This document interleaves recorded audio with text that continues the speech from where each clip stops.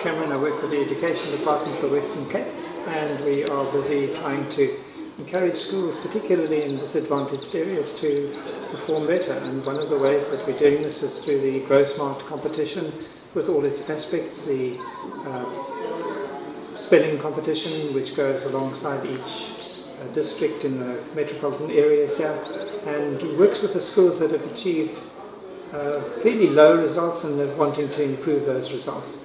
There's also a story writing competition which has come up this year, which has given us an opportunity to let 200 children write their own stories and have them judged with the result that uh, you have certain winners who've won some fabulous prizes and been given opportunities as a result of that.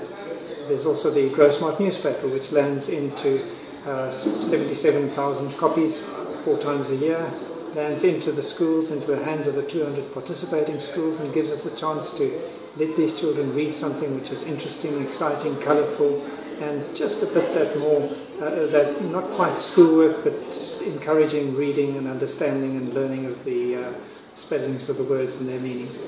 These elements together form a whole which does give access to a few children to leave disadvantaged areas and to go into more academic uh, challenge.